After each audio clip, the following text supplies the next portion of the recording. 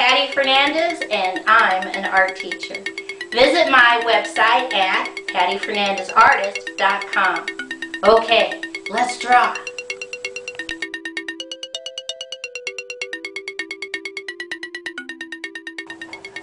Today's project is how to draw the face from Scream.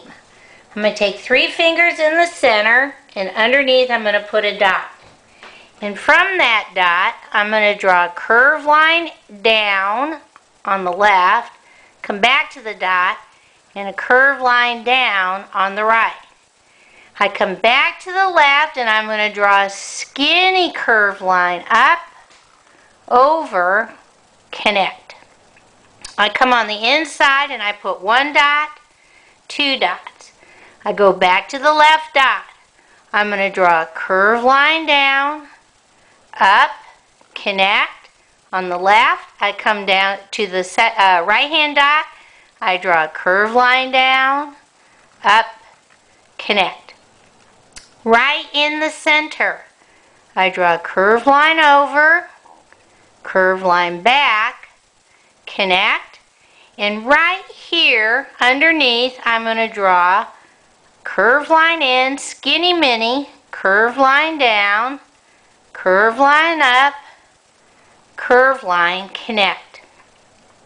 Now starting right here on the left, I put a dot, and starting right here on the right, I put another dot.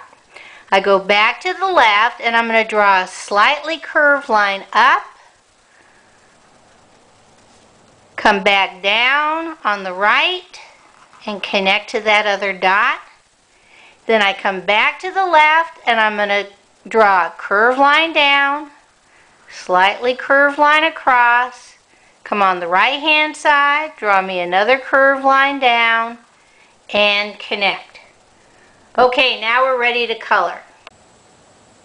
This is super easy to color because all you have to do is black. So I'm going to color in my eyes, my nose, and my mouth with black.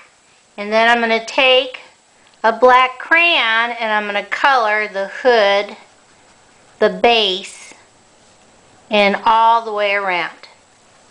The darker black you get, the better.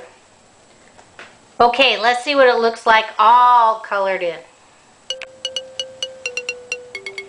Here's my scream, all colored in. It might be fun to cut him out put a tube behind him so he stands up and he'd make a great decoration. Okay, bye-bye.